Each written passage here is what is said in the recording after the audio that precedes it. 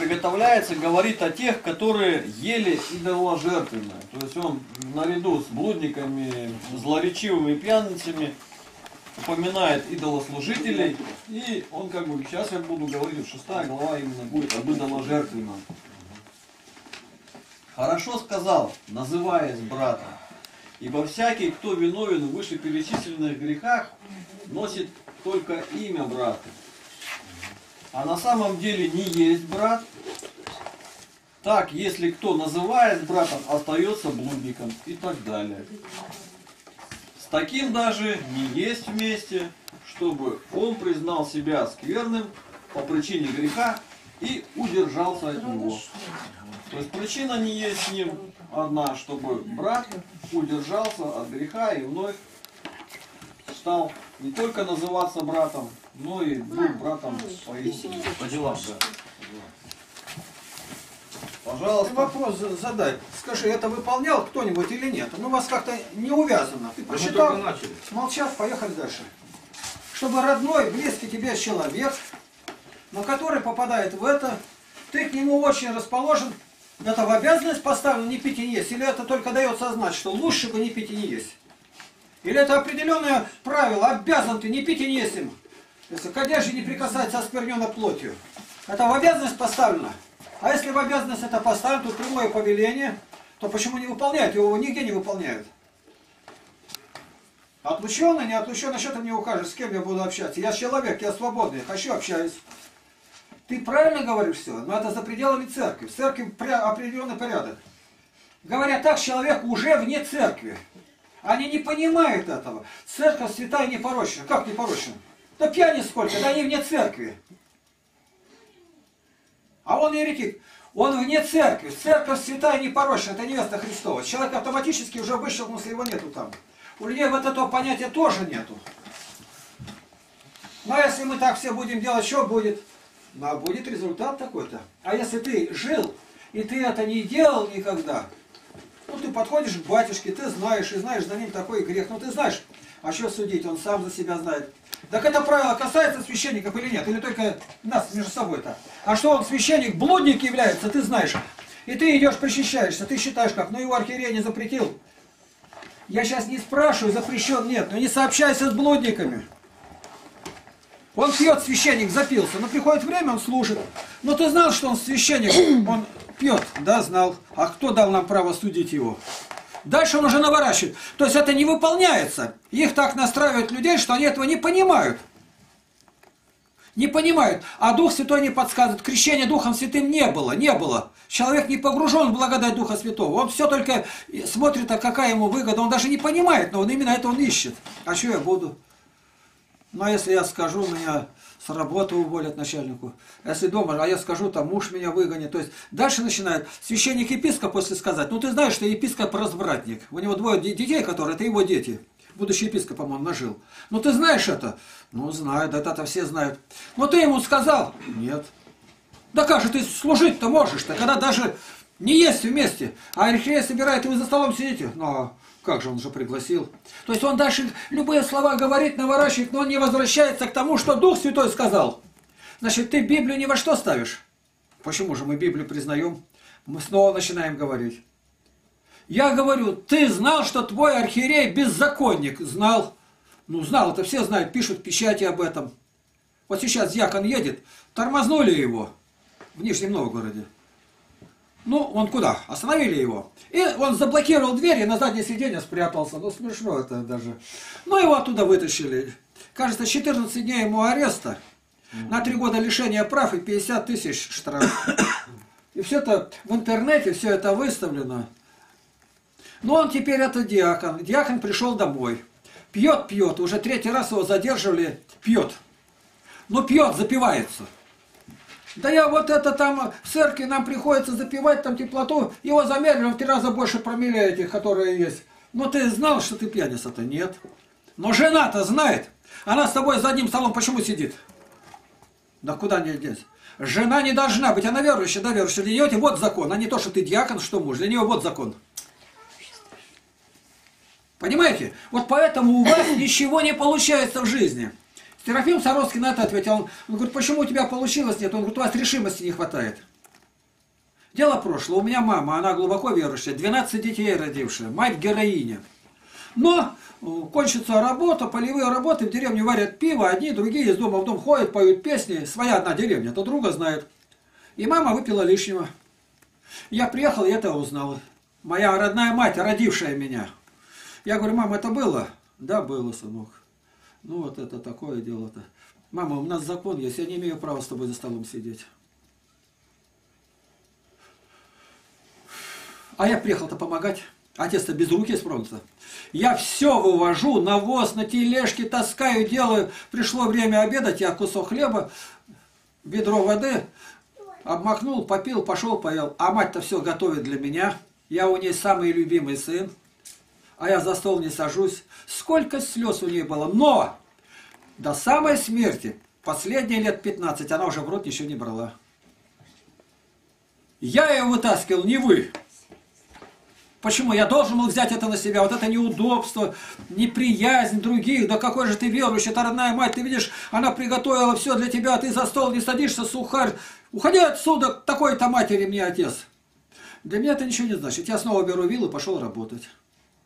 Я приехал помочь инвалиду войны. А это внутри церковная уже, она член церкви. И я, пока я не уехал, я за стол ни разу не сел с ней. С родной матерью. И для меня это ничего не значит. Я должен помочь. Сестра родная точно так же вышла без благословения замуж, а по церковному, не имеющая брака, не венчания, она просто развратница. Но прошло несколько лет, она мне звонит, а он милиционер, такой крутой вроде мужик, вот, она и фамилия его, все, они зарегистрированные, ребятишки. То у меня крестика нет и молитва слова. Мне этого было достаточно. Я завтра уже с работы сорвался, я уже в Змеиногорске. В окно выйди. Я в дом не имею права заходить. Сарай, зайди. Зайди. Вот тебе молитва слов, вот тебе крестик. До свидания. Отрапортовал и домой. Понятно? Для меня высший глаз. А они этого не понимают. Вот поп, который сейчас там, он, оказывается, крутится, вертится, говорит, как ужака под вилами. Что только глянули, сказали, у него нет понятия подвязаться за веру евангельскую. Ему там мощи надо, он, прости Господи, что они делают? Он изуродовал душу, он был неверующий нормальный парень, можно было говорить, как весь семинаристы. А их, когда начали учить, это волчары растут. Они к каждому подходят, ты смотри, что они наворачивают. А тогда мы были-то, при вас это было. Прощенное воскресенье, епископ, мы все благословились, епископ Максим Дмитриев. Вышли, и они стоят со священником, на нас наступают семинаристы. Игорь стоит, он ему в отцы годится, Игорь, тут 45 лет, седая борода, он в подряснике, подходит, ну ты что, козел, возле храма Покровского. А другой, да что ты там разговариваешь, дай ему морду. И священник рядом с ними стоит. Их на территории улицы нельзя запускать. Это они когда сидели мы с епископом Максимом, а фотографии их там, я говорю, это вы волчатник этот вырастили, вы за все будете отвечать. Они были нормальные ребята, пока не поступили к вам. С ними можно было разговаривать, я встречался. Нормальные ребята, советские комсомольцы, там, честные ребята. Вы из них сделали негодяев. Вот об этом Невзоров Александр Глебович говорит все время. Они никого не видят, не слышат. Почему вы их не вызовете? Вызови сейчас их на ковер. Пусть они принесут покаяние. И вышвырни их из семинария. А то, это он сейчас такой. А когда он будет священник, он налево-направо будет метать. Он никого не признает. У них не на нулевой отметке, а они далеко-далеко на минусовой идут. Вас, говорит, такое блудодеяние, которого язычников не слышно. Это развратители людей. Вот все. Ты считаешь это место. Примени его к жизни хоть раз. Понятно? А вот применить-то в жизни-то тебе не придется уже. Потому что за этим у тебя что-то стоит. А было же время, когда ты мог сказать это самым близким людям. Когда обратился. Мог. А что ты уж себя так высоко ставишь, что ты святой, а мы грешны? Я знаю даже, что у них в арсенале есть. А мне не надо считать. Я христианин, и мне повеление, я его выполняю. Я грешник, со мной не ешь. Все. У нас были люди, которые ходили в храм, но впали в грех, им сказали раздеваться только в кочегарке. Они маленько походили, а потом ушли. И тогда уже стали открыто блудеть, развелись с женой уже, седьмая заповедь. Ну и пошли куда. Вон как раз крест, крестный у него Виктор Андреевич. Врач, хирург. Вот и все. Ты себя проверяй на каждый раз, где бы что ни было. Мне вот иногда говорят по интернету, ну вот сейчас такое вот дело, почему вашего голоса не слышно? Это вот ну, там где-то про диамида там или что-то. Почему вы не выступаете, не скажете, вот э, я сказал. Сказал, повторяться мне незачем. 4124 вопроса я ответил, только на сайте, не считая новых сколько. И у меня не было за 17 лет, только в одном университете, чтобы я не ответил какой-то вопрос. А у меня бывало до 30 вопросов в один день на занятиях. Какой бы он ни был, провокационный там, а вот у нас есть точное сведения, что вы, Лапкин, занимались у знаменитых экстрасенсов, поэтому так легко манипулируете людьми, они там есть. Я отвечаю, не учился ни одного дня, это греховное дело. Спокойно так. Если у вас есть доказательства, покажите. Сейчас перед всем народом я выйду, покаюсь. Гробовое молчание. Записка-то не подписана чья. Ну, а люди-то сидят, тогда было до 100 больше человек в залах. Ну, и нету, и все. Нет, нет. Он сказал, и вот теперь я тебя прижал. Нет. Ты сказал, показал, что ты такой есть клеветник. Ты выйди перед народом, скажи, обличи. Ну, обличи. Они на меня на книги нападают. Ну, давайте по Евангелию. Ну, 12 лет это срок. Вся патриархия молчит. Конкретно по книгам распределите, вы каждую епархию одну мою книгу дайте и вызовите, и давайте открытым оком, чтобы было все. И во свете Библии. Слабо, да дрожи в ногах. Они могут только что из-за угла стрелять, уничтожать, отравлять. В открытый бой они не выйдут. Они как огня боятся правды. Ну, заметь, сегодня мы беседовали с Андреем Пьянистом. Он сразу же, я против, чтобы записывали. Ну зачем тут командовать? Мы сами решили, что записать, и батюшка просмотрит. Еще ты боишься-то? Пьяный валялся, не боялся, а записи боишься. Смешно даже. Сатана все перевернул. Бог так сделал, что в совести заложено стыдно делать грех, а не стыдно каяться. А у людей, наоборот, грех, бесстыдство такое делается, а каяться грех. Так? Пошел. А еще Можно? Игнат Тихонович, вот когда я стала ходить на занятия первое время, да, вот вы это нам объясняли, вот стих, и я его как-то всегда применяла так, что люди, которые считают себя верующими, они верят все в Бога. Ну, как говорят, почти 70 там, может, процентов верят в Бога, что Он есть. А Слову Божьему не верят. Да. Слову Божьему не верят. Теперь, а чтобы ему верить, Слову Божьему, нужно его же изучать. Да. Я так сказала, говорю, так слово-то вы Слово Божье не принимаете. Они говорят, а как мы можем принимать, мы его не знаем. Я, а это мужчина один встал, говорит, так ты читай. Она говорит, я читаю, я не понимаю. А дальше у нее ума не хватает, что нужно искать, кто бы это ей объяснил. И вот когда искала, читала, читала Библию, а потом, когда искала толкование Библии, вот примерно как Юра, он сказал, говорит, я 20 лет и нашел, 20 лет искал, нашел, и привел меня на занятие Игнат Тихоновича. И вот это вот закончилось тем, что нужно изучать Слово, чтобы его исполнять, его надо знать. Мало того, что сказать. А еще и вы примеры нам приводите на нашей жизни. Так это уже вообще даже, и еще мы творим такое вот непотребство, как вот, что нужно окрестить тех, кто Ой, там. слуха нету. Слов нету, вот до чего мы дожились. И правильно Николай сегодня нас вот, вот прям нам глаза открыл, что мы вот такие мы уже вообще. Что поддерживаем Ну такую... это не ну, такие, ну это... Мне вопрос задают. Ладно. А вот вы бы родились в мусульманской стране, где Евангелия нету. Вы родились, вас обрезали, вы обрезаны. Но у них, если ты переходишь в христианство, а уже ты мусульманин считаешься там, в 13 лет тебя обрезали, тебе смертный приговор, согласно их закону. Вы бы там стали христианином или нет? Да, я бы нашел путь. Я имею внутри себя свидетельство. Я постоянно искал. В то время, когда я с детства верующий, моя душа не удовлетворялась. Я не делал ничего, что люди мира этого делают. Я этого не знал. Во мне до того была большая любовь к нищим. Скопить деньги, а нечего. Только ну, 26 стипендия была, 6 рублей за квартиру отдаю, 20 мне. Пей, ешь, книги покупай. И я с этого все экономил, чтобы найти бабушек и им подать. Во мне внутри это было заложено. Я искал, когда начал изучать полностью про буддизм, все, не от Бога это. Считаю дальше, другое, одно толкование, третье, разные секты. С кем бы ни встречался, я всю литературу их требовал. И сначала, с самого возникновения до моего обращения, я все проверял. Это не то. Ну где же она истина? До момента было, пока не встретил блаженного Феофилакта. Все. Я понял, это конец моим поискам. И сколько же на эти поиски ушло? Ну что, есть Бог, Евангелие, я уверовал в течение пяти минут. Что, Евангелие, в 23 года. А на это вот на что было, мне негде было взять. Но душа моя внутри говорила, это не то. Я до конца дохожу, это не то. А сам это время на кафедре стою баптиста, проповедую, все, но знаю, это не то. Я говорю то, что ну, общеизвестная истина. Которая непонятна, я обхожу.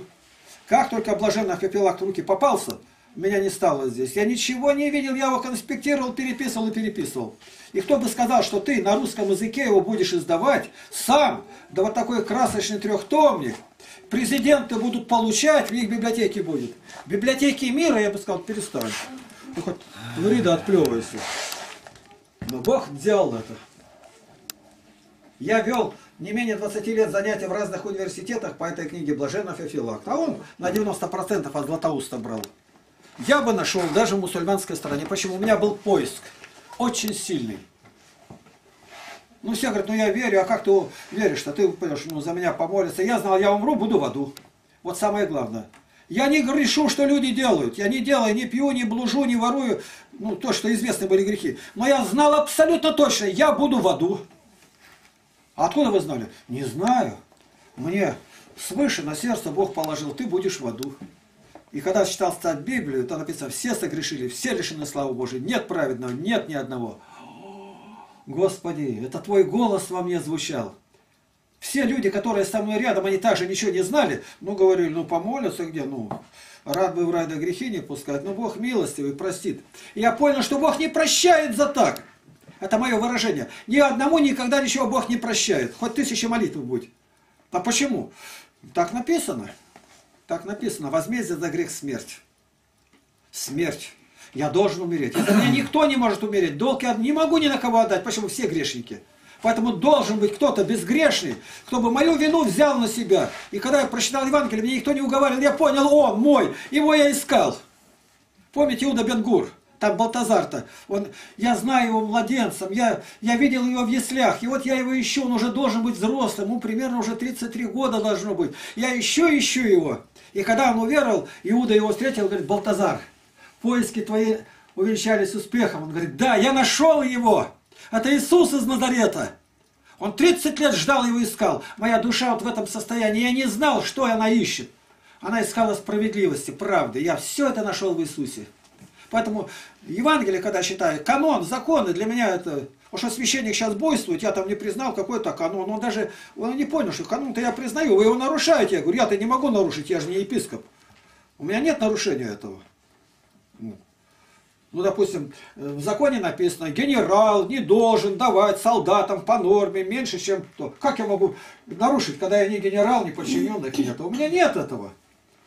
А он усыпился за это, вижу, что он совершенно не понимает, или ему разницы нет, лжет перед всем миром. Помилуй его, Господи, но мне это надо. Меня захвалили в интернете со всех сторон. Везде. Этого нигде больше нету. Вы один во всем мире. Во всем мире. Андрей Кураев это говорит. Самый великий проповедник в России. Откуда они еще берут? По большому-то счету я проповедник такой, говорится. Я просто говорю то, что мне Бог положил. Я не заканчивал ни семинарии, ни академии, перестаньте. И поэтому коромысл это уравнивает. Меня залезали со всех сторон. Ваша любовь тут со всех сторон. Поэтому поносители, они нужны. Выровнять это надо. Сбалансировать. А можно обострить вопрос? Погромче. Обострить вопрос. Давай. Вот ваш случай, вот, ну там с сестрой с вашей, да, допустим. Ну мы его не будем разбирать подробно, но возьмем другое. То есть не есть, не пить, там одежда, на одну лавочку не садиться, там и прочее, прочее. Все понятно. Но есть такое понятие, как время, срок. Сколько это по сроку должно быть? Пока она не выйдет из греха. Она в грехе живет. Но это не в вашем случае, а в другом случае брат, который считает себя, все, он на второй день он отстал. Не А- знаю. а- Если грех, значит эпитемья. Пока он оглашенный. Здесь говорится о нас. Что Ну да. я, с- я с таким, вот я у батюшки спрашивал, батюшка, сколько у нас, ну, есть такой прецедент, сколько это по времени? Ну, пока человек не изменится. Так он уже изменился 140 раз. Прощайте до семижды 70 раз. Против тебя согрешить, не забывайте, не надо это путать. Против Ну, тебя, а ну, не против общей нравственности. Я, я проси, ну, нравственно в церкви нет, у нас есть духовность. Вот. И духовности нет у них такого слова. Это, это Горбачевское слово. Ну, ну, Дух Святой, будем так говорить. Ну, сколько срок-то, сколько? Вот, Я говорю, Петемья. Он возбудил, допустим, Ну. мужчина, 7 лет. 7 лет мы Ну. не, не имеем права с ним общаться, как с братом. И не приветствуемся, не христосуемся, ничего нет этого. 7 лет. Там без, без сроки. эпидемии не может быть этого. Ну как на? Может быть, если у него постоянные слезы, он молится, одна треть срока снимается. Там указаны нормы на все. Я, я говорю без эпидемии, без канонов. Я вот один на один с ним. Это вне церкви уже. У церкви свои каноны. Церкви. Василия Великого, Вселенские соборы, поместные, я православный, я обязан соблюдать это. Они ничего не соблюдают это, и поэтому на меня-то кинуться, кусать меня за несоблюдение законов, э, это, канонов, я смотрю, это он то ли нарочно все это делает, и думаю, как сладостно сознавать, что я не виновен. А на нем-то 413 нарушений. Он есть, как на нем, как говорится, на паршивой собаке репья нацеплена. Всех блох собрала. И они меня обвиняют в том, ну, в чем все от меня учились, как соблюдать закон. Но тут ведь понимаете, в чем дело-то? Ну да, человек этот сегодня сделал, его в этом уличили, вынесли ему там постановление там обозвать его, там наказать розгами или пятимью. Ладно, завтра, послезавтра он уже не делает такого. Но мы-то его зазираем как алкаша, начинаем клеймо на него ставить. Два года, алкашу еще раз говорю, два года, через два года тогда общаемся. Два года не имеем права вот иметь братское общение. Я же четко ответил. Канон для него. За пьянца на два года. Батюшка должен объявить его. И все. А что непонятно-то? братское общение, это же не за столом, Игнат Тихонович. На улице, во дворе ли, на лавочке. Я на должен ему свидетельствовать, нуждается помочь, но на уровне верующего не может быть. Я не должен его приветствовать. Целование. Мы, видя его раскаяние, мы можем за него ходатайствовать. Обратить внимание, епископ может снять одну треть, но не больше, остальной срок на нем. Церковь предусмотрела, ну ему положено столько-то. Вот есть такие э, преступления, на 30 лет отлучаются. На 30 лет. Да это половина жизни. А можно снять? Нет, нельзя. Но за него могут походатайствовать те, которых арестовывали, сидели за Христа и остались живые. Называется исповедник. Я исповедник. Я один здесь такой. Я имею право за них ходатайствовать, почему я сам испытал и знаю, как это нелегко. И поэтому мое ходатайство, я на своей шкуре это перенес. Выкрученные руки, как надо мной издевались. Я, поэтому церковь постановила, имеет он право. Ну а дальше что? А он заболел. Прошел год, он заболел. Заболел. Врачи говорят, эпикриз. Батюшка срочно его причащают. Так нельзя 30 лет. Церковь постановила причастить. А если он выздоровел, снова включается тот прежний срок. Сколько у него оставалось, так и продолжается дальше. Церковь любящая мать. Я соборы знаю. А это то, что вякает поп, то он ничего не знает. Ничего, он только одно, говорится, хвостом вертит перед епископом, и чтобы братья его не задушили. Он во мне мог найти самого лучшего друга по исполнению канонов, а ему это век не надо. Он решил поиграть со мной насчет канонов. Да, тут уж не по зубам. Ты мог бы еще в чем-то по красоте храмов, там, вы не такие, то другое. Мы не строили храм. Это когда новый храм закладывают. А если это было капище, клуб, как у нас по Терябке, капище. И там теперь сделали храм. Там нигде не написано, что теперь мощи там зарывать надо. Нигде нет. Они этого даже не понимают. Это при строительстве новых храмов. И притом мощи целиком. И мощи мучеников, которых замучили. Они от кого отправить Игнатия Бринчанинова мощи там от, отковырнули, там, отрезали. Безобразники. Они каноны не исполняют. Он им трясет, они понимают, что он против него. Его Бог лишил разума. Притом, то, что я привел, толкование блаженного Феофилакта и Иоанна Златоуста, толкование какое, он ни на что не смотрит. Я привожу полностью правила, разъясняю. Он ничего не смотрит и не видит. Они слепые, глухие, как аспиды ядовитые. Ему только одно падать, говорит, и плакать и молиться, рогами в землю. Там он смотри, как возносится. Ему надо поизгаляться. А вот теперь я исполняю закон, а вы хоть один нарушаете, во всем виноваты. Как я могу быть во всем виноватым? Это не Библия. Там говорится, виновный в одном, виновен во всем, нарушитель закона. Я не нарушитель, ты ничего не доказал, единолично мне выносишь приговор. Он даже этого не знает. Он безобразник. Пока суд не вынес решение, когда фотографирует, старается, чтобы такое вот клеточками лицо было, не показывать, пока неизвестно, кто будет. Видел? Ну вот и все. Решения нет. А сегодня бывает, еще суда не было, а о нем уже в газетах, он преступник, то другое. Вот это запрещено законом. Но его нарушают. А попы на каждом шагу его нарушают. Потому что бессовестные. Где можно было применить совесть, они ее, говорится, у нас отец говорил так, он говорит, совесть свою, говорит, в детские годы с соплями сожрал. Вот и все. Ее нет у него. Главный стимул ко всему совесть. По совести ли это? Мощей нету, а епископа зарубить. Ужас какой-то. У католиков там какие-то законы есть. Какая-то деревня Майя. А они приняли католичество. Ну куда денешься-то? Рубят головы. Приняли. И потом вдруг сообщили, в этом селе они опять достали старых идолов и стали опять молиться. Ну ведь понятно, это их вера была. Они не обращенные. И что? Немедленно окружить всех до одного уничтожить до ребенка. Всех. Да а там 10 тысяч, всех 10 тысяч. А там девушки всех до одной, до того вопреки всех законов. Ну там есть, которые, может быть, еще держатся веры. Тебе еще непонятен приказ, ты за них становись рядом. И Дальга, видел фильм? Ну и вот, когда решили, они там уничтожают, застреливают, и, а потом он вздрагивает во сне, и ничего нельзя сделать. Индейцев, как поступали американцы. И у русских, у русских та же история была, она ничем не лучше. Потому что свидетельство с той стороны, что писали язычники, ни одного материала не оставили, все уничтожили. А осталось только то, что они говорят. Ну, а раз они говорят только, значит, мы все враги народа. То, что те писали, которые в деле-то нигде нету, все это выдрано, выброшено, когда судили по 37 год. 58 статья. Так, Игнат Тихонович, вернемся к нашим баранам. Мы этого человека всячески от себя отстраняем. То есть мы высказываем э, как бы наше осуждение его греха.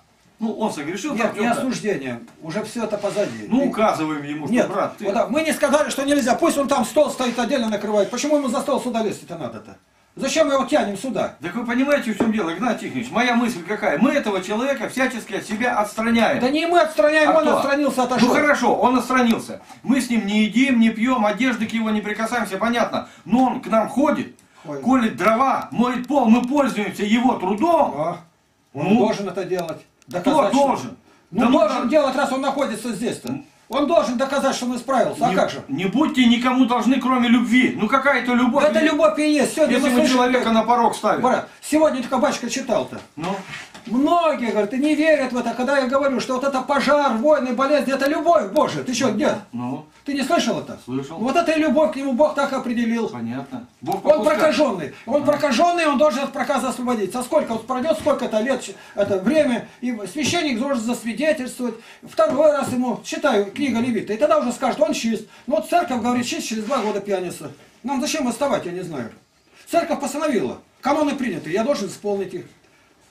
Когда на нас ополчится наш епископ Евтихий Курочкин, на меня он особенно, за материалы, за материалы, которые к истинному православию есть, это что воевать нельзя, я говорю, любите врагов ваших, дальше, о благовестии и о русском языке, и что все проповедь, за три материала.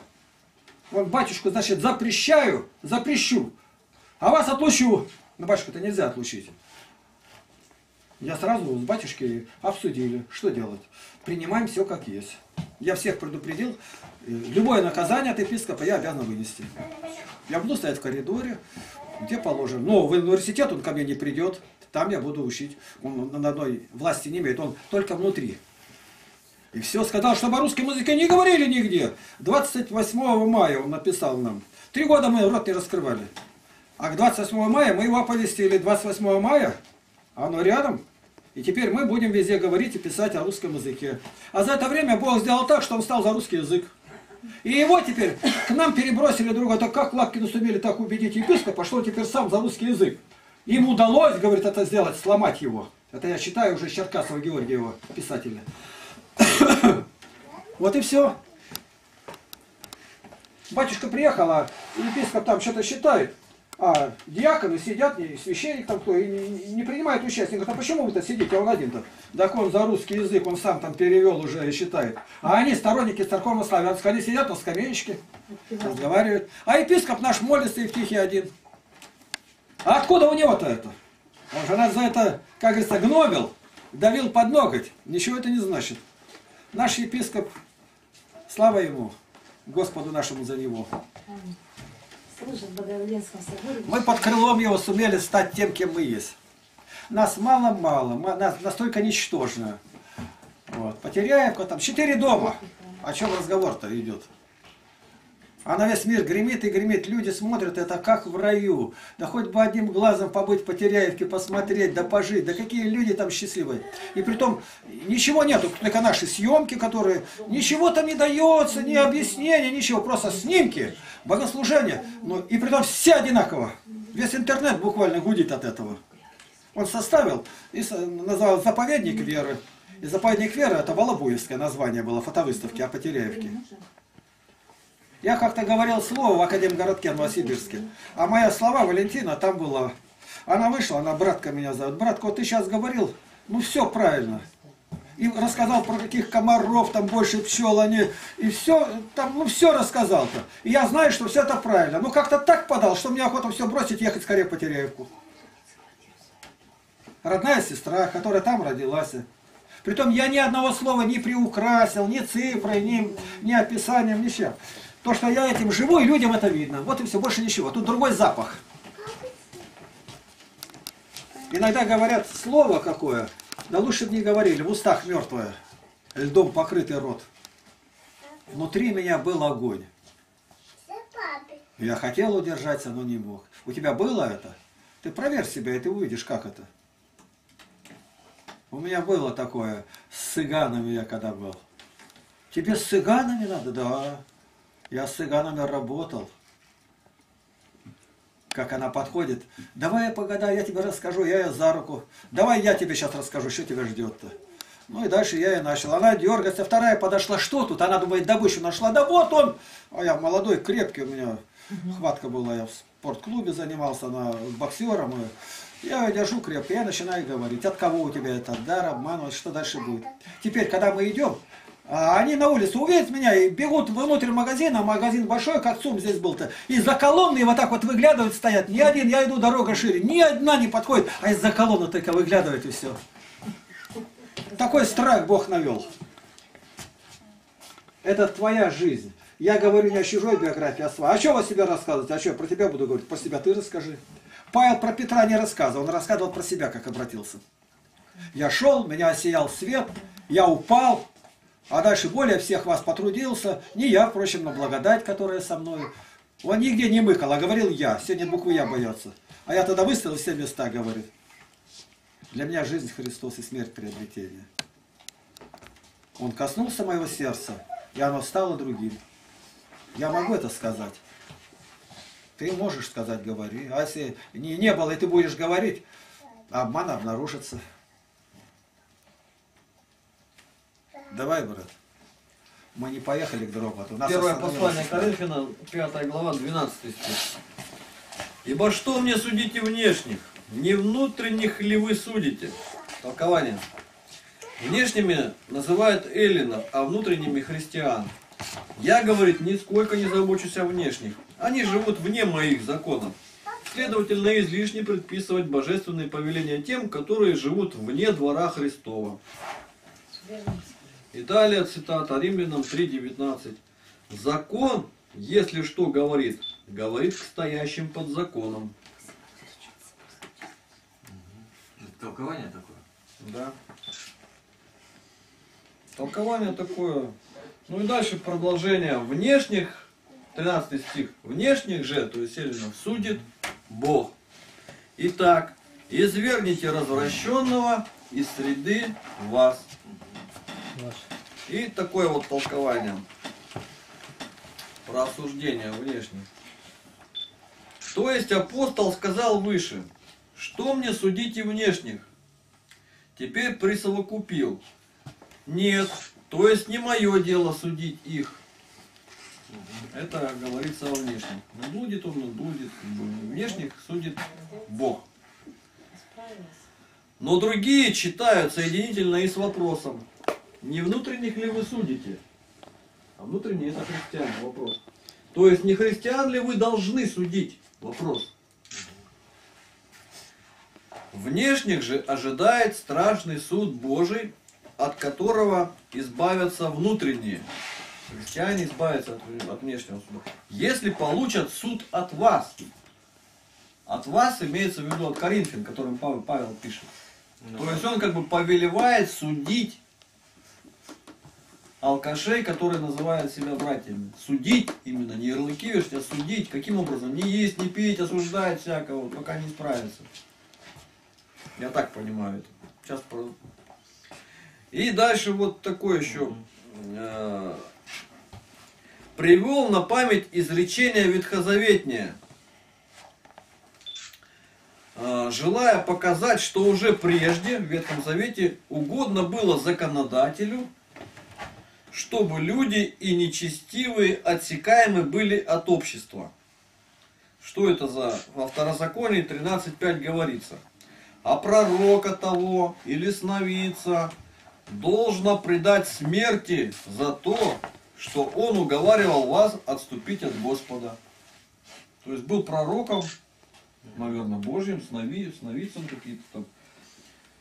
А, а, а, предать смерти за то, что уговаривал вас отступить от Господа, Бога вашего, выведшего вас из земли египетской и избавившего тебя из дома рабства, желая совратить тебя с пути, по которому заповедал идти тебе Господь, Бог твой. Итак, истреби злое из, из среды себя.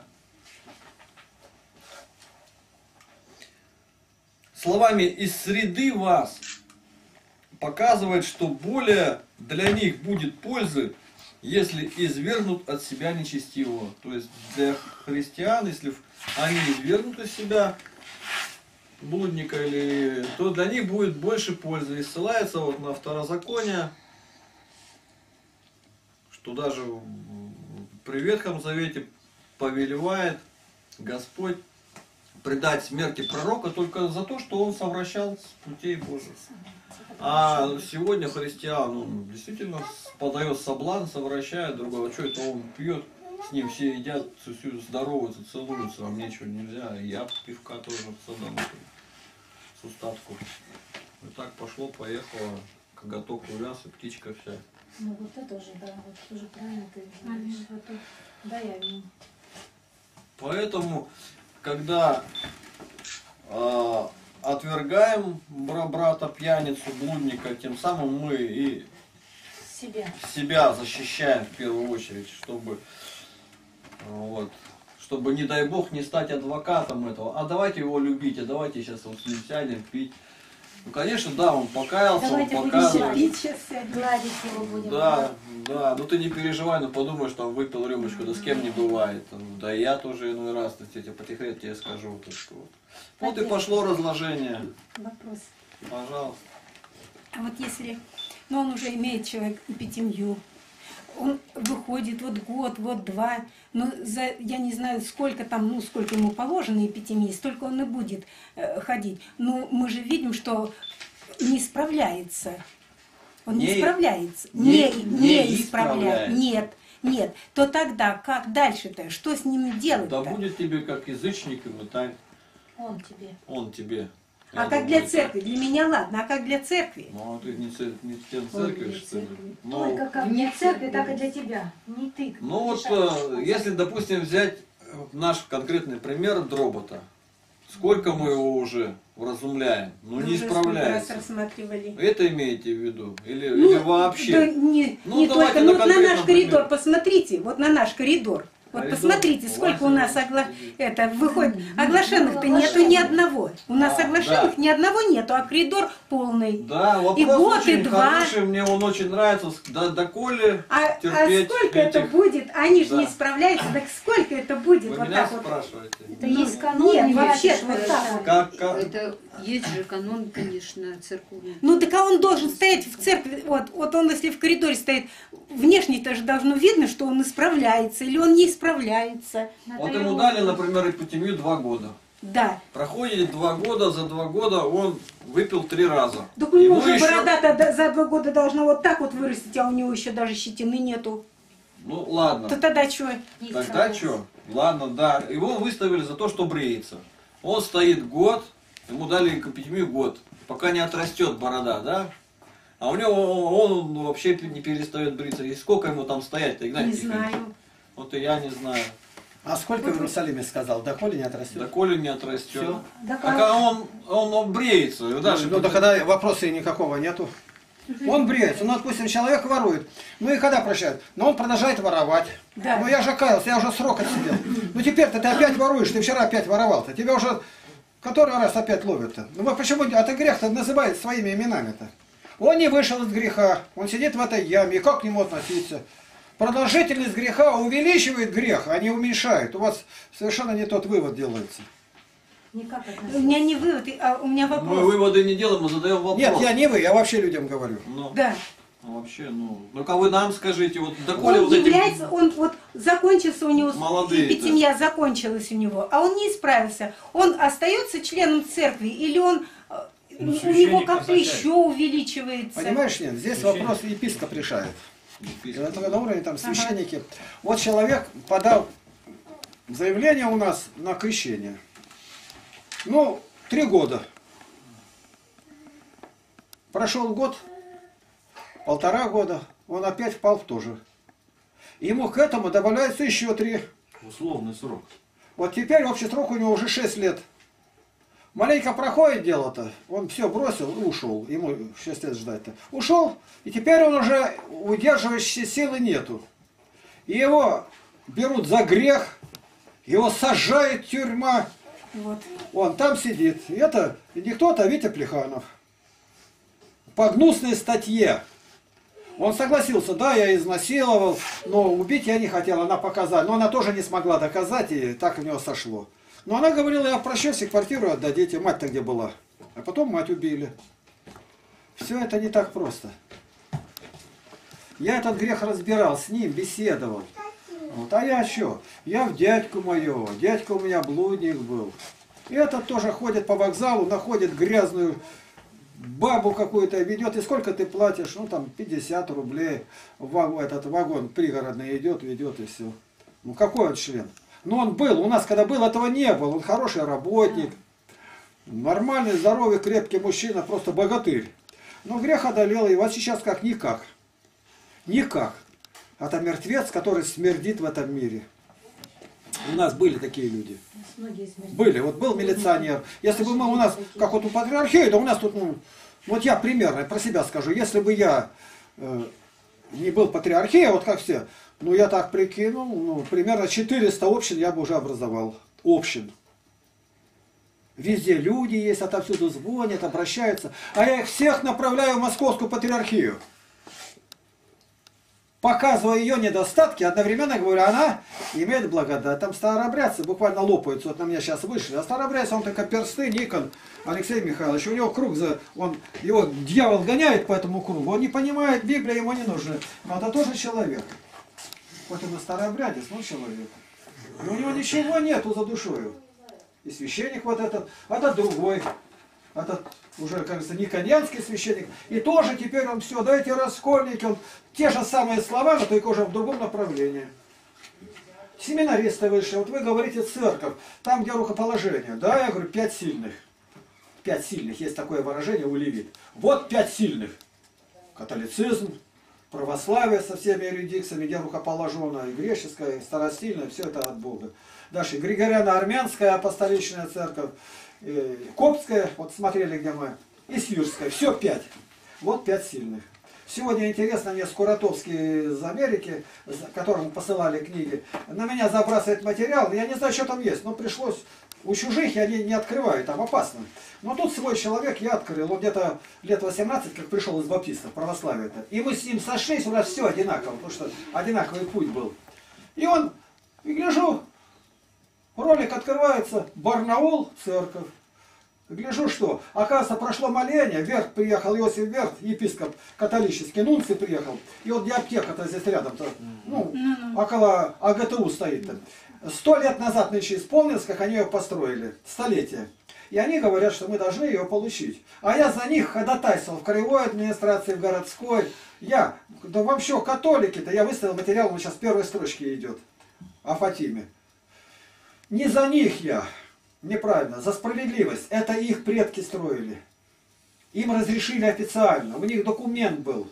Они большую пользу приносили государству российскому. Да какое же право имеет царь-батюшка Игнатий? Так и царя-то не было. Ну вот, э, советская власть. Они отняли, а что делать? Вернуть. Показывать, какой он высокий был, они все это обрубили, а аптека сейчас там есть. Я и в аптеке в этой был, с ними разговаривал, много там еще у нас никто. Ну тоже помолитесь, чтобы вернули им.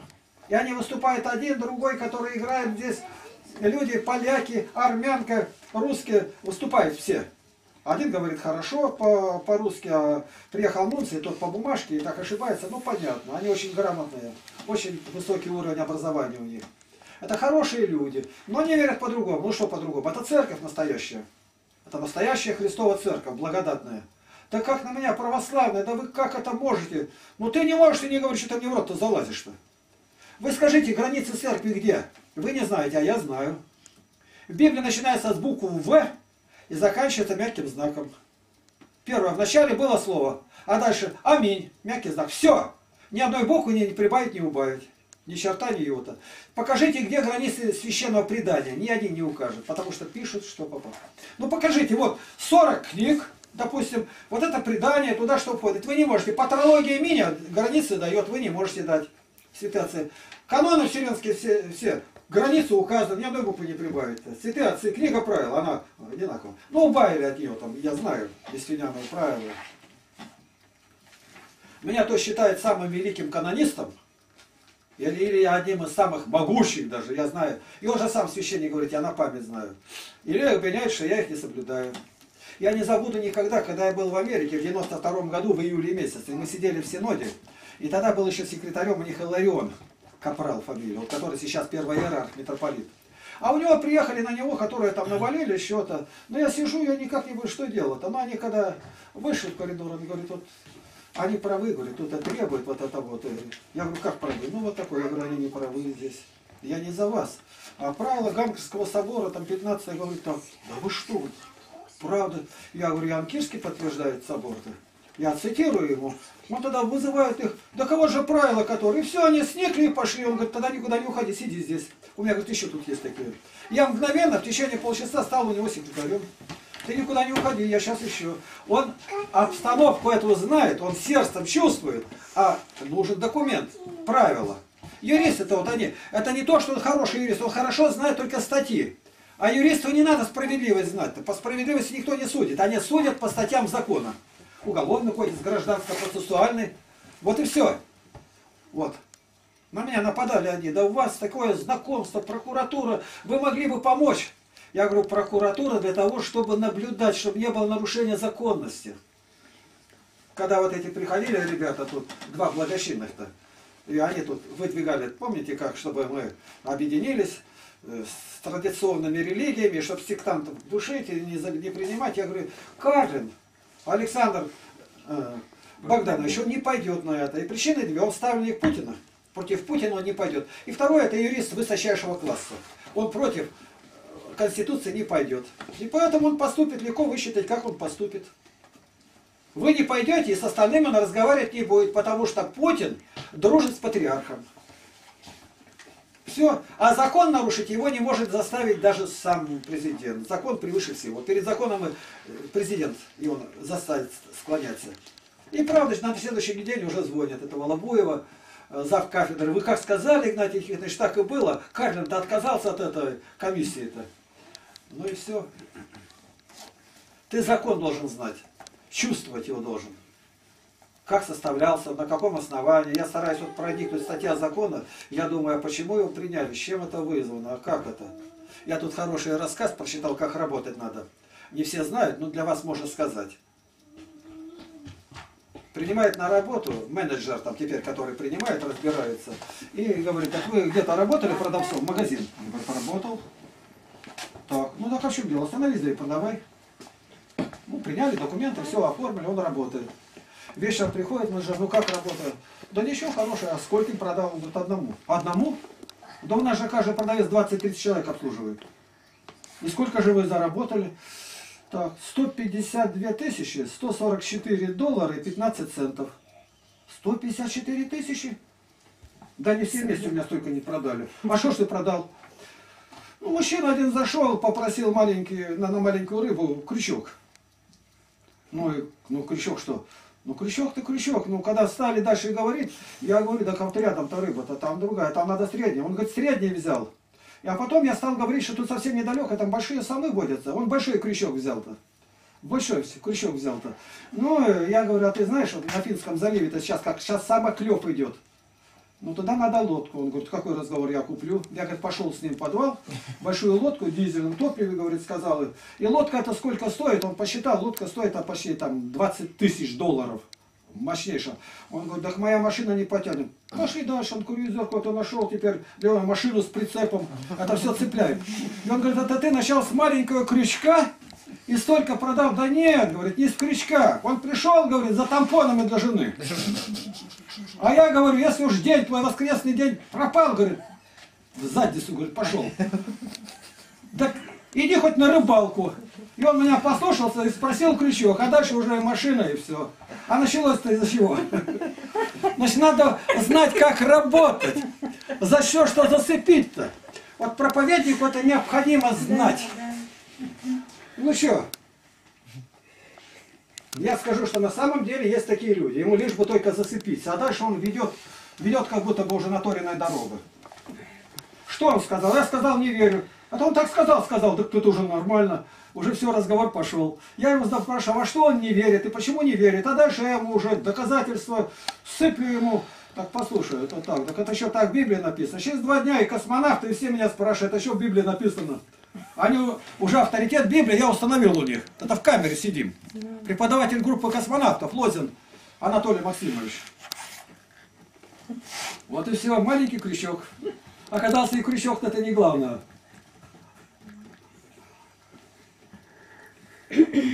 Вот так. Продолжим. Ты маленький стих. Кто извлечет из ничтожного полезного, сделаю как мои уста. Я беру последним. Как Господни уста. Да я буду стараться, Господи, сделай меня как твои уста. Вот. Ничтожное маленькое там, крючок. И что дальше пошло? Теперь у мужика и лодка, и машина. Сережа, раз- рассказать. Это идет переписка вот между Сергеем, который болящий лежит, Да. и ну и там еще оппонентом у него. И они нападают на Игнатия Тихоновича.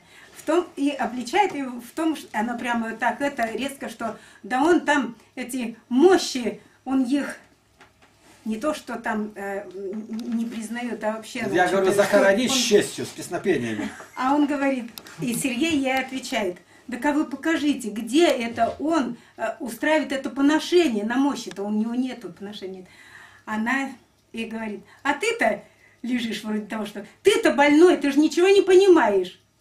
И какой он ей ответ дает? Я, говорит, понимаю, что я больной. И что я ничего, и я что многого не понимаю. Я даже не понимаю, как до сих пор Бог нас терпит. Как что делать? Бог до сих пор нас терпит. У него хорошая Я, мысль. ой, я, я когда прочитала, вот мне так было это интересно, да какой же ты умница, да как ты ей ловко ответил. Я даже не понимаю, как нас до сих пор Бог терпит. Ему Бог открывает. Мы ему послали уже книги к этому Сергею. Ее главное, из тех, которым посылаешь, денег нету. Один только он сказал, когда и куда переслать деньги. Так представь к нему, что я к нему обратился уже за помощью. Сережа, если будут у тебя какие люди, нам для благовестия надо собирать помаленьку, если можно. Он говорит, вот ты как какой-то пришел икону заказывать. И мне сверх того, что заказал, 10 тысяч дал. Говорит, а мне это что стоит? Вот и все. Он, он очень быстро реагирует, вот моментально, он вот сразу же отвечает. Больной, да? Больной. Ага. Я Считай, понимаю, Сергей. что я больной, что-то не понимаю. Подожди, пусть считает. Шестая глава, первый стих. Или может, не- подожди. не, стоит А- нам шестую а до главу скольки вы начинать? Еще пять, еще пять минут. Ну тогда пусть поговорят, конечно. За- закладку-то сделай. Пусть она скажет, попроси ее. С шестой главы начнем следующее занятие. Сейчас я хочу Так, рассказать. как попутно сказать. Там я гляжу, книгу мою берут. На столе книги нельзя брать. Нельзя. Пришел, захватил, сидят книгу. Ты нечаянно пятнышко оставишь, а я не знаю. Ну, мало ли что бывает-то. Эти книги э, людям предназначены. Они лежат здесь, чтобы легко было брать. Вот мы сколько полных комплектов, по 38 отсюда отослали уже. Наверное, три комплекта. Ну, три. Чё, Патриархия мои книги уничтожает. И тут же сразу нет, нет, нет, нет, нет. А я готовлюсь и к этому, ничего удивительного. Наталья Дмитриевна Солженицына выступает и говорит, как продавали один день Ивана Денисовича. И в Москве, там какой был бум, это первая книга, которая приоткрыла двери в ГУЛАГ, глянуть, хотя бы немного. И говорит, издали они, и тираж-то был не небольшой сколько, второй дополнительный 700 тысяч сразу. И люди показывают в очереди, говорят, такие очереди, и подходят, есть, слово есть, а, а, а, торгует Союз Печать, и все знали, что речь идет о Солженицынском. Иван, один день Ивана Денисовича. Спрашивает, что порушило вот эту империю зла, Советский Союз? Это гласность и Солженицын, архипелаг ГУЛАГ. У Запада открылись глаза. Горбачев говорил, хотел показать социализм с человеческим лицом. Но когда приоткрыли, там оказалось чудовище, кровавая морда, пожиравшая миллионы. Там вампир, вурда- вурдалак. И все отшатнулись. И все. Ну, это план масонов был грандиозный. Интересно, вот я в интернете наткнулся. У меня очень хороший знакомый, писатель. Ну, просто замечательный человек. Могу сказать, в самых возвышенных тонах. И у нас хорошие с ним отношения. Но я знаю, он полуеврей. Там отец еврей, там мать русская или наоборот, не знаю где-то. И как-то он мне и говорит, ну неужели вы, Игнатий Тихонович, столько знаете, и вы верите, что протоколы масонских мудрецов, что это не царская охранка придумывала? Я говорю, а вы верите в Бога? Ну как же не верю, я чада православной церкви, я исповедуюсь, причащаюсь. А Библию верите? Конечно. А вы верите, что придет Антихрист, 13 глава Откровения? Да. И что он будет над всем миром, народом, коленом написано когда? А это в один день делается или надо людей подготовить? Вот возьмите на вокзал, в двери, как хлещет туда-сюда, и во всех вокзалах мира, особенно на стадионах, и всех людей, всех мер, все соединить в одной. Это в один день делается, а где-то где подготовка идет? Сейчас вот чипы, чипы, чипы, там, ИНН. Кто это делает? Какая нация? Все известно, все ученые, откуда, кто этим занимается. Так почему? Я говорю, мне вот что интересно, дорогой. Почему в это не верят только евреи и только полукровки? Ты понимаешь, нет? Я думал, ничего в этом особенного нет. Я бы ответил так. У нас задание такое. Сказали, что где про евреев плохо не говорят, как в масонских протоколах-то, глушите, как у нас Фаня была. Она с ума сходила, когда услышала, что Ян Златоуст говорит, что синагога это от сатаны. И вы так считаете? Я говорю, я так не считаю. Зачем считать-то? Я сейчас Златоуста считаю, он так утверждает. А в глаза их не видал. Как она взыграла сразу. Как так? Да мне не надо говорить как. Восемь слов там против иудеев Иоанна Златоуста. Они его люто ненавидят. Выступил против Достоевский, там, иудеев, там, не, не против, а рассказал, как есть. Они его, я бы зубами его изорвал, э, этот говорит. Э, над электричеством кто у нас? А? Чубайс. Кубайс, Чубайс-то, Кубайс говорю. Вот. Там вроде бы на него этот Сейчас Квачков а, покушение делал. Я терпеть его не могу. Солженицын тоже сказал 300 лет вместе народом-то. Я не, мгновенно объявили ему войну. И вот мне точно так же. Ну, он все и проще. А до этого хотел четыре книги мои взять, там рецензии, я вам обязательно напишу, то другое. До этого я ему давал еще в черновиках был э, для слова Божия туз, он все это снимал, кажется, себе. И вдруг у него новый материал выходит, новая книга, и он уводит героя одного, Лапкин Игнатий Тихонович. Чтобы Лапкин и Игнатий Тихонович, я почему-то думаю, в Советском Союзе и в мире никого нету. Даже Игнатий Тихонович это редкое сочетание. Имена такие, а тем более Лапкин. Ну ясно откуда, тем более он очень меня хорошо знает и положительно отзывался в интернете. И он выводит, и тоже специальность моя, сторож. Но это было в прошлом веке, в дворянском поместье где-то и прочее. Понятно? Даже вот такой умница, он не удержался, чтобы каким-то образом не ткнуть. Но если бы я его назвал по имени, отчеству и по фамилии, где-то написал, а я могу написать, да оборони Бог даже подумать. Я сейчас был в Москве, я через э, монастырь, не через монастырь, а через Берсенев отца Кирилла передал ему книги в дар. Ну, не все, а пять, по крайней мере. Вот. Он помогал. И вот видишь как. Мы не должны быть, вот это чтобы корпоративная ложь подавила нас. Я православный, но я должен смотреть шире. Православие это не все. Есть еще и католики. Старо-новокатолики. Есть григорианы-армяне. Вы считаете заверочек. А скажите, в чем католики виноваты? Ну вот они признают, Дух Святой от Сына исходит, и все.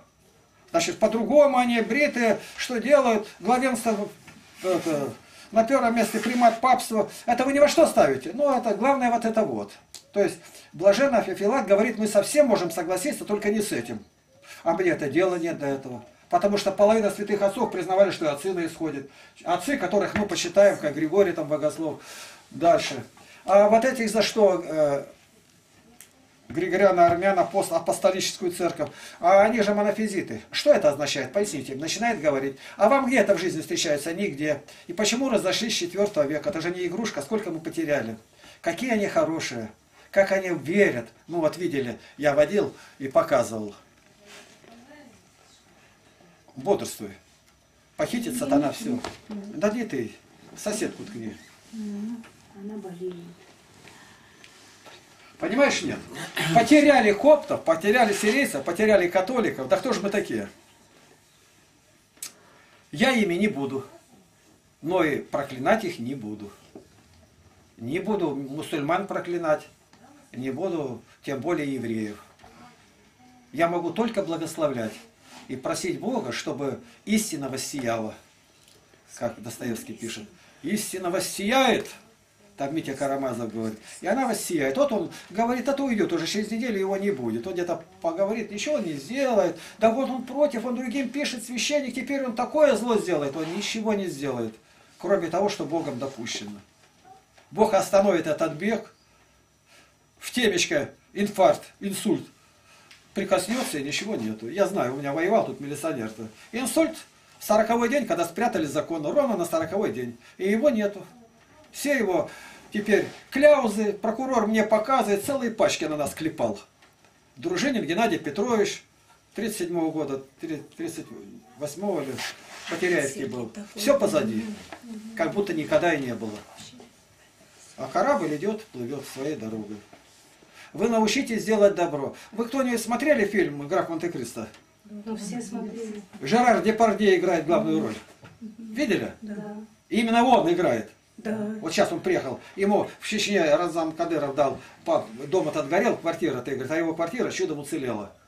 Там-то он, конечно, А моложе. И, и как он играет? Он поставил задачу, когда вышел, Оказался всем изощренно Старый. отомстить, не убивая, а так события сводил, что они сами на себя руки накладывали или что-то. Он узнавал тайные грехи и выводил их там судью, там всех, которые его садили, он их всех нашел и всем отомстил.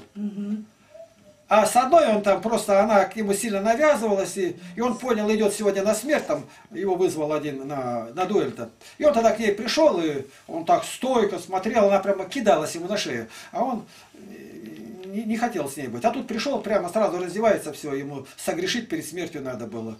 Но получилось так, что Бог не допустил этой дуэли, он остался живой.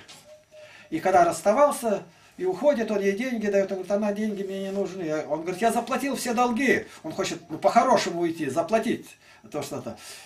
А вы себя должником не считаете? Он сразу остановился. Вы мне тоже должны, я попрошу долг выплатить. А у него по тем деньгам миллионы. Он самый богатый, может, во Франции. Там громадный сундук, там бриллианты, не выскажешь что-то. Он думает о богатстве, она говорит, нет.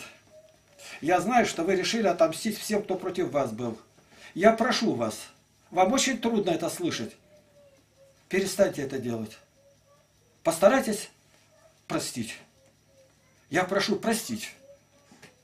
И она его буквально сразила. И теперь у него все планы наготовленные уже, он один за другим с арены сходит. Он так делает их, обнаруживает кто-то, и они стреляются там или разоряются там или еще что-то. И он где приходит, прощает, и говорит, как трудно это дается, прощать, молиться за врагов. Вот и все. Он что угодно делал. Одевается в одежду священника католического, приезжает, его там принимают, он говорит, тебе нужно, чтобы исповедовали? Да, мне некогда. Ну, а у них там эта загородка, там решетчатая. А он сел туда, а он в одежде, все. И одна приходит, а он узнал, когда она приходит, когда она исповедуется. И он ее на этом деле уловил, она исповедуется, падре, я хотела сказать. Он говорит, так ну что тут особенного-то? Ну, не надо, у тебя губы какие хорошие. Он ей через это священник исповедует ее, она как соскочила бежать. Он ей свидание назначает. Он не священник-то. Ну а дальше уже враг свел. Для него преград, кажется, никаких не было. Преграда была одна, Господь. Вот кажется, выдумка э, Дюма там, но сколько там заложено, что значит талант? Я все время удивляюсь. И Жерар Депардье, какой он талантливый, как он играет его. Вообще весь фильм красивый, да. Он почему пришел-то сюда, знаете? Налоги на него наложили большие, он не захотел платить. И ему там грозить стали. Во Франции. -то он тогда бросил гражданство, а Путин его принял. Лично Путин. Ну, он уже старый ведь. Ну и что? День денег-то А. Петр Мамонов не старый, а какие роли-то играет-то? Главные роли. Ему доверяет везде. И где? Ивана Грозного кто играет? Он. Он. Да вот как играет. Во. Вообще. Как он играет-то его? А возьми этот остров, кто играет? Ну, Ну, ну вот он от, от острова все и оттолкнул. это талант. И тем более на эту роль молодого не поставят. Он Вот там не он нужен. играет. Красотка не нужна. А нужен такой человек, вот такой, чтобы он и злобу мог показать, и прощение, и мудрость. А у Петра у него всего хватает. Он верующий человек. Он много рассуждает о вере.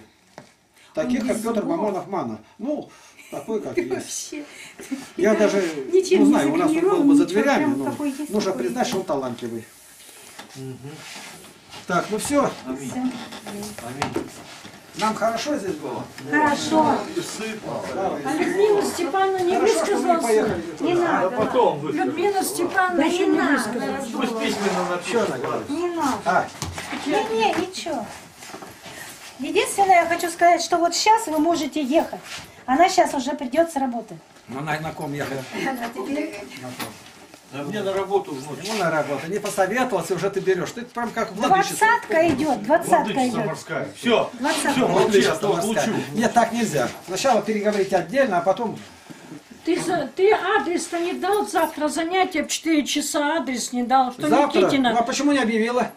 Всё. А я как объявлю? умерла. Никак, бумажкой. Написала и сказала, объявите. Так, что скажет отец? Слушай. Никитина 128 балл. Из присутствующих, может, кто пожелает прийти в 4 Пойдите завтра, часа. Первый раз садите. Запишите сейчас. Никитина 128 а, во дворе. Ну, объявила даже люди, которые ревностные, не один. Первая как будто квартира. не идет. Подумаем, подумаем. Так думать-то не надо, надо идти. Думать-то не о чем. Понедельник 4 часа, а потом к вам А кто соберемся. занятия проводить будет? Володя Ну кто, или Сергей Сергей. Пупков? Сергей Пупков будет и Володя будет. По третьему тому, с первой страницы. Молитесь, Игнатий. А? Давайте помолимся, молимся. Боже милости, будь мне грешным. Создав Господи, помилуй меня. Без числа я согрешил. Господи, прости меня грешного и помилуй. За молитвы святых Отец наших, Господи Иисусе Христе, Сыне Божий, помилуй нас. Аминь. Царю Небесный, Утешителю души истины, и же везде сы, и вся исполняя сокровища благих и жизни подателю. Приди и вселися вны, и очистины от всякие скверны, и спаси блаже души наша. Святый Божий, святый крепкий, святый бессмертный, помилуй нас. Святый Божий, святый крепкий, святый бессмертный, помилуй нас. Святый Божий, святый крепкий, святый бессмертный, помилуй нас. Слава Отцу и Сыну и Святому Духу, ныне присно, во веки веков. Аминь. Пресвятая Троица, помилуй нас, Господи, очисти грехи наши. Владыка, прости беззаконие наше, святые посети, исцели немощи наши, имени Твоего ради. Господи, помилуй, Господи, помилуй, Господи, помилуй. Слава Отцу и Сыну и Святому Духу, ныне и присно, и во веки веков. Аминь. Отче наш, иже еси на небесех, да светится имя Твое, да придет царствие Твое, да будет воля Твоя, яко на небеси и на земле. Хлеб наш насущный дашь нам днесь, и остави нам долги наши, яко же и мы оставляем должником нашим. И не веди нас во искушение, но избави нас от лукавого. Господи, слава Тебе за этот день. Благослови брата Якима путешествующего. И Андрея избави от пьянства, Павла, Иосифа, Михаила, Александра, Владимира, Василия, Василия. Господи, дай сил Анастасии мудро поступить. Спаси детей от этого развращения. Будь милостив к нам, пошли добрых насельников и вселения наше, знающих Тебя, любящих уставы. Приготовь нам место для благовестия, где мы должны относиться. Сердце Николая Виктора расположи к тому. И пошли все необходимое для этого. Продли еще мир, благослови правителей в этой стране, дай им страх Твой святой, патриарха, епископов, священников. Это священника Сергия, Господи, коснись. Пошли ему исцеление, вразумление. Избави от клеветы, этой лжи, и защити посеянные нами и книги, от варварства, от лютых волков, не щадящих стада, от говорящих превратно, желающих увлечь учеников за собою. Соблюди нас, Господи, и доведи до царствия, веди в него навеки. Ты искупил нас крови Твоей пречистую, слава Тебе. Благодарю за день, когда Ты даровал мне Святую Библию. Воздай милости всем, живым и отошедшим, кто трудился над возрастанием моей души. Если в чем мы погрешили в сей день, прости, помилуй, очисти. Тебе слава за все. Отец, Сын и Святой Дух. Аминь. Аминь. Спаси Христос. Слава Иисусу. Убирайте книги. Духов, духовно, да? Это твоя книга? Мы молимся, Эта книга откуда вот эта? Моя из дома. Мы молимся этой молитвой семикратно в день. Да. Я в автобусе еду, с одной, она ездит в церковь вот сюда, на Спартак. Ну, я, мы с ней да- давно уже дружим. Я ей рассказываю, да есть вот у нас вот такая молитва, сами ее вот у нас вот, она, я и взяла ее и помолилась Какой? Вот дорогой. это вот? Или какой? Семикратно в день, семикратно А. в день. Ну-ну-ну. На другой раз мы встречаемся уже через неделю, едем опять в автобусе, снова с ней встретились. Она ко мне, Нина, запиши мне, пожалуйста, ту молитву. Я говорю, какую? Ну, которой вы молитесь. Представляете, она неделю Это на держала. 100 поклонов. Да. Она неделю держала, что как ей хочется ее. Это Господь делает, потому что Ну то, вот что я мы сеем, написала. это буквально по всему миру идет. Я даже не ожидала, а я переживала, говорю, наверное, я ей много загрузила, она прям такая это. Я переживала всю неделю, давай молиться за нее. И, и через неделю-то встречаемся, она говорит, ты мне напиши эту молитву. Мне одна встретилась. Наташа, такая пышная, прям, я так хочу в Потеряевку. Ну вот такое дело. Я уже примерно 200 человек от меня получили объявление это. Пожалуйста, сколько людей новых. Мы знать не знаем. Да, Благословен Господь. слава Христу. Володя,